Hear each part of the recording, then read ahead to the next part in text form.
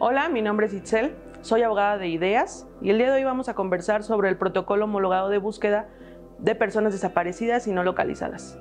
Este protocolo es una herramienta jurídica que fue publicada el 6 de octubre de 2020 en el Diario Oficial de la Federación y tiene como principal objetivo que esta búsqueda de personas desaparecidas y no localizadas sea considerada desde un enfoque humanitario, exhaustivo, sistemático y permanente.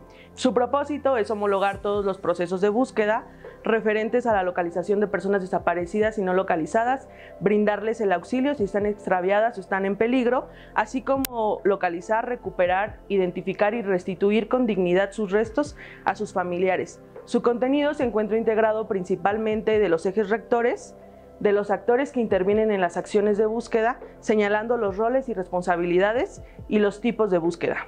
Los ejes rectores operativos son directrices que deben de ser observadas por todas las autoridades desde los tres niveles de gobierno, atendiendo a su ámbito de competencia y bajo los cuales se debe de regir los, cada tipo de búsqueda que prevé este protocolo. Los actores que intervienen en la búsqueda de personas son explicados en el protocolo atendiendo a los roles y responsabilidades que desempeñan según su intervención dentro de las acciones de búsqueda. Es importante señalar que la búsqueda de personas desaparecidas y no localizadas siempre va a estar a cargo de la Comisión Nacional de Búsqueda, las comisiones locales de búsqueda y las autoridades en los tres niveles de gobierno.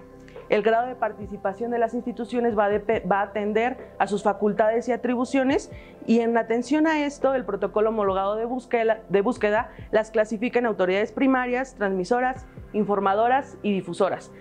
Referente a los tipos de búsqueda, como ya lo habíamos mencionado en un inicio, este protocolo homologado contempla cinco tipos de búsqueda. La búsqueda inmediata, búsqueda individualizada, búsqueda por patrones, búsqueda generalizada y búsqueda por familia. La búsqueda inmediata consiste en el despliegue de acciones inmediatas para lograr localizar a la persona desaparecida o no localizada.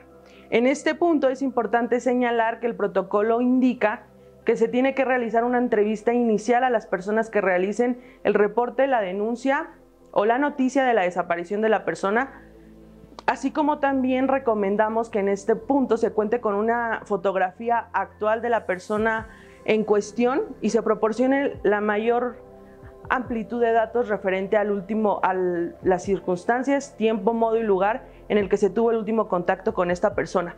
Esta búsqueda inmediata tiene cuatro momentos. La detonación, la coordinación, el rastreo remoto y el despliegue operativo. Estos cuatro momentos son complementarios y el rastreo remoto y el despliegue operativo van a intercalar información a efecto de que el rastreo remoto nutra las acciones que se van a realizar en el despliegue operativo, la cual va a estar a cargo de las autoridades que tengan esta capacidad técnica y operativa. La búsqueda individualizada va a consistir en el despliegue de las acciones tendientes a localizar a una persona desaparecida contra la cual se presuma se ha cometido un delito.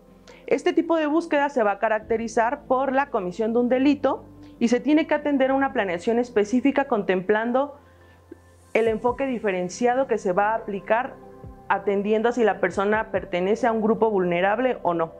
Estos ejes rectores diferenciados también son contemplados dentro del protocolo homologado de búsqueda.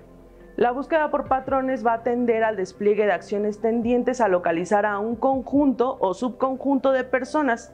Estos patrones van a ser identificados a partir del análisis de contexto que realice el área especializada de la Comisión Local de Búsqueda o la Comisión Nacional de Búsqueda.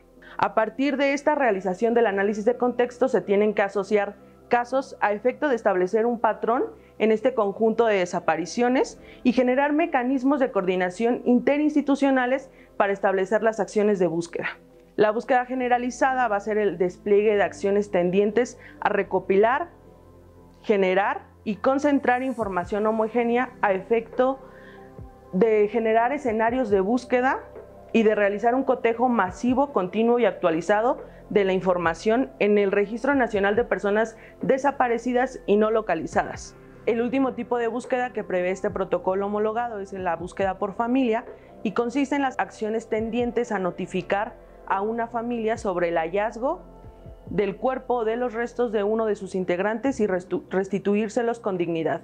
Esta búsqueda por familia se puede dar bajo dos supuestos, que consisten cuando, cuando la persona desaparecida o no localizada es encontrada con vida o sin vida y a partir de ello se realizarán las acciones pertinentes mismas que prevé este propio protocolo. Reconocemos que este protocolo fue construido gracias a la participación activa de víctimas y colectivos de personas desaparecidas y no localizadas, así como la participación de asociaciones como la nuestra, que realizaron observaciones que fueron consideradas para la construcción de este instrumento jurídico.